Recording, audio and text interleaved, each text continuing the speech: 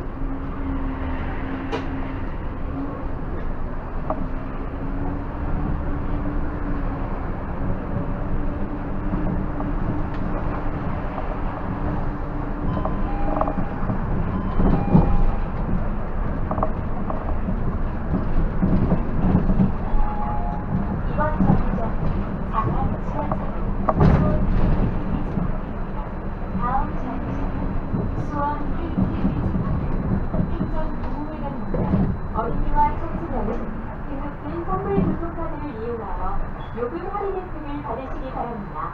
감사합니다.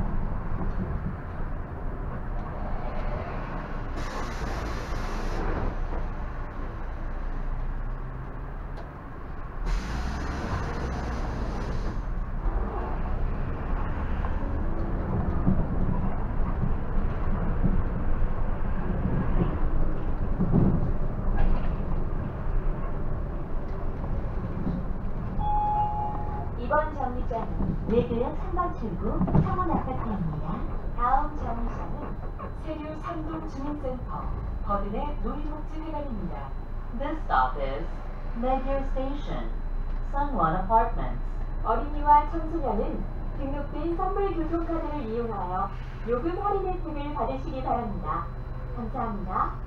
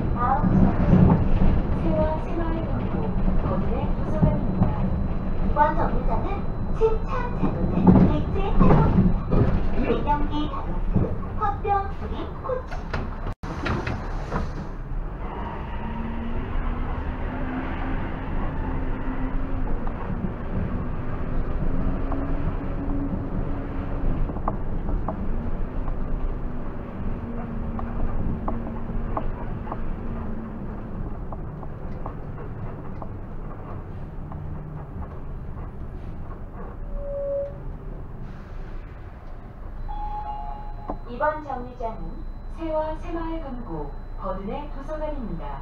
다음 정류장은 세류 이동 주민